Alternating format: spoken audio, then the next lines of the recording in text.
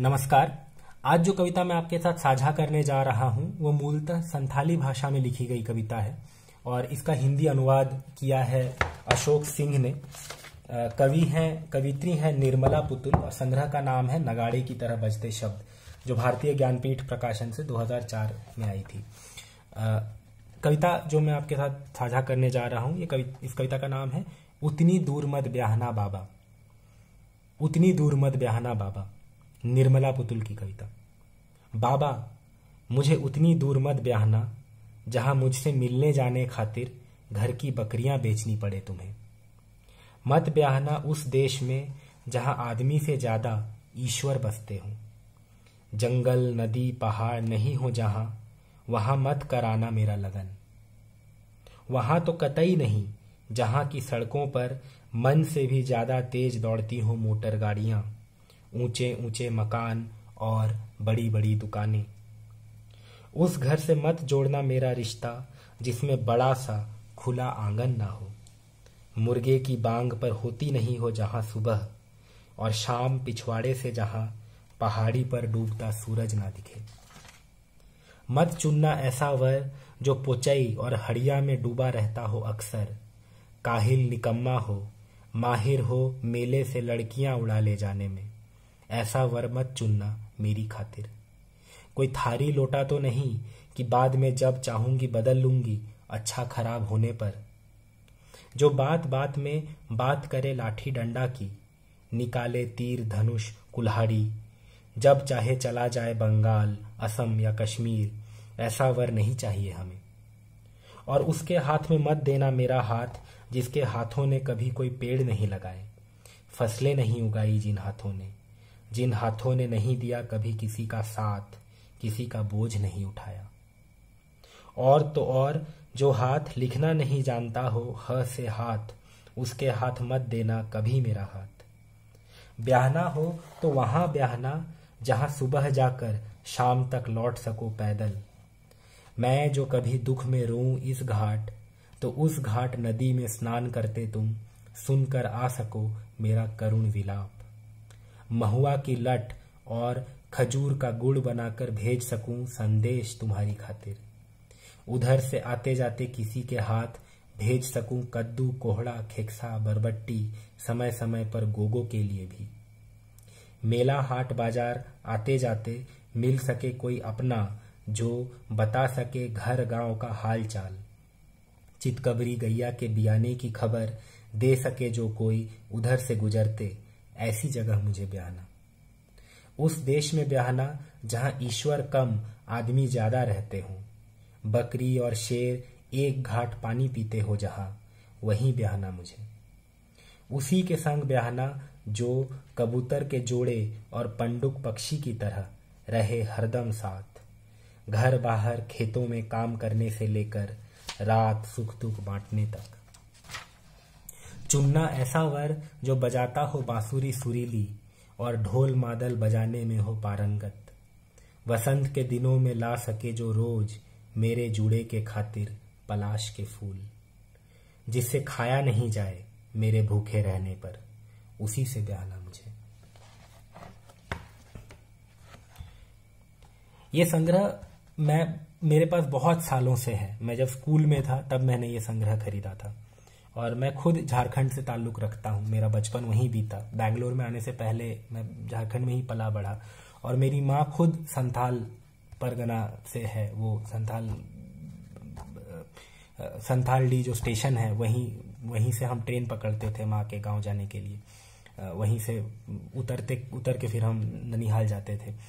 तो ये जो एक संथाल जो जो इलाका है, वहाँ का जो जनजीवन है वो बिल्कुल यहाँ पे स्पष्ट दिखाई देता है कविता में।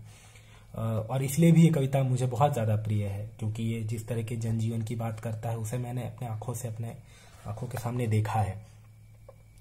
इस कविता में जो बात मुझे बहुत पसंद आती है, और मैं किसी और तरह की कविता को कमतर नहीं आंक रहा, लेकिन मुझे वो कविताएँ पसंद आती है जिसमें कवि खुद को वलनरेबल दिखाए, वो अपनी वो अपनी असुरक्षा की भावना को दबाए नहीं उसे बिल्कुल उजागर करे।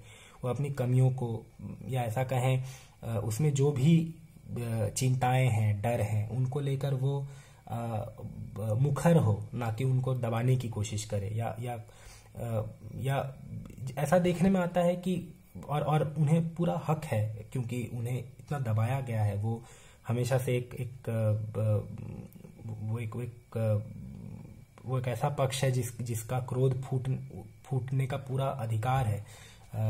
लेकिन स्त्री और दलित विमर्श की कविताओं में, अक्सर कविताओं में, कविताओं का जो अंतर्निहित जो जो इमोशन होता है जो भावना होती है, वो अक्सर क्रोध की भावना होती है।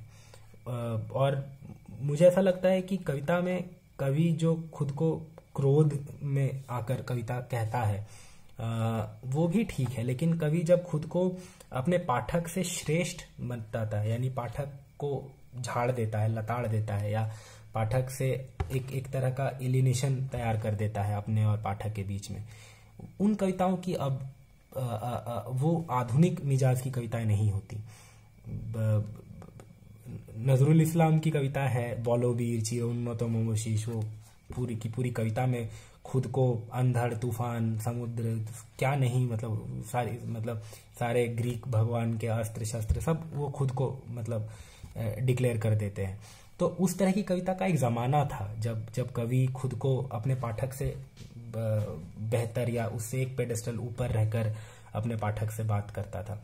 लेकिन आज के मिजाज में ऐसी कविताएँ ज़्यादा पसंद की जाती हैं। मुझे ऐसी कविताएँ ज़्यादा पसंद आती है। जिसमें कवि अपन, अपन, अपनी बात कह रहा हो आ, उसे उसका क्रोध भी फूटे उसमें कोई बुराई नहीं है। लेकिन वो पाठक के साथ एलियनेशन ना क्रिएट करे वो उससे अलग खुद को ना दिखाने की कोशिश करे। ऐसा तब होता है जब कवि का जो वॉइस है वो वलनरेबल होता है वो उसमें उसकी सारी चिंताएँ उसकी सारी असुविधाएँ वो सारी बातें निकल कर आती हैं। तो इसका मतलब ये नहीं है कि कवि खुद को बिल्कुल मट्टी पलीद कर दे ऐसा कर दे कि वो कुछ है ही नहीं। जैसे इस कविता में भी आप देखिए कोई थारी लोटा तो नहीं कि बाद में जब चाहूँगी बदल लूँगी अच्छा खराब होने पर। वो खुद की तुलना थारी लोटा से नहीं कर रही है वो अपने वर होने वाले वर की तुलना थारी थारी लोटा से कर रही है।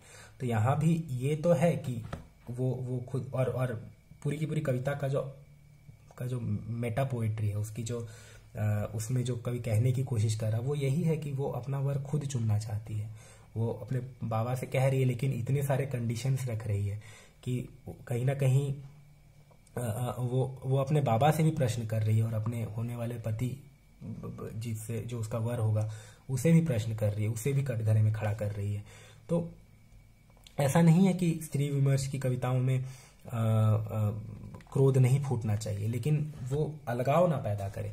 और उसका मुझे सबसे बढ़िया उदाहरण जो हमारे समय की कविताओं में मुझे देखने को मिला है, उनमें से एक ये कविता मुझे लगी, जो अद्भुत कविता है। जहाँ ईश्वर कम आदमी ज़्यादा बसते रहते हों, बकरी और शेर एक घाट पानी पीते हो जा बकरी और शेर एक घाट पानी पीते तो कबीर का के बहाने कही हुई बात है, लेकिन कितनी अद्भुत बात है। और और जो जो एक मॉडर्निज्म की तरफ़ हम दौड़ रहे हैं, जहाँ जहाँ मन से भी तेज मोटर गाड़ियाँ दौड़ती हैं, उन सबको बिल्कुल नकारते हुए एक एक आदिवासी कवित्री अपनी बात कह रही है, उसे कैसा वर चाहिए, उसे कैसी जीवन कैसा जीवन वो, जीवन साथी वो देखना चाहती है, जो पंडुक पक्षी की तरह कबूतर के जोड़े की तरह हमेशा साथ रहे, सुख दुख बांटने से लेकर खेतों में काम करने तक। तो अद्भुत अभिव्यक्ति है और इस वजह से ये कविता मुझे बहुत प्रिय है। मैं ये भी स्वीकार करना चाहूँगा कि अपनी शुरुआती कविताओं में मैं इनसे काफ़ी प्रभावित था। जब मैं लिख रहा था और मेरी बहुत सारी कविताएँ हैं जिसमें मैंने झारखंड के जनजीवन को देखने की कोशिश की है शुरुआती कविताओं में आ, उन उनमें मैं निर्मला पुतुल से काफ़ी ज़्यादा प्रेरित था प्रभावित था।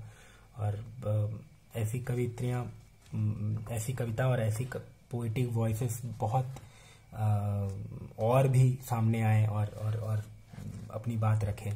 मैं इसी उम्मीद में जीता हूँ। मैं चाहता हूँ कि अच्छी कविताएँ और पढ़ने को मिले। तो इसी के साथ मैं आज का जो ये वर्कशॉप सॉरी पॉडकास्ट का जो एपिसोड है, उसे मैं ख़त्म करता हूँ। हम कल फिर मिलेंगे एक और नई कविता और एक और नई कवि या कवित्री के साथ। आपका बहुत बहुत शुक्रिया। आपने अपना समय दिया। आप स्वस्थ रहें, सानंद रहें। कल मिलते हैं। धन्यवाद।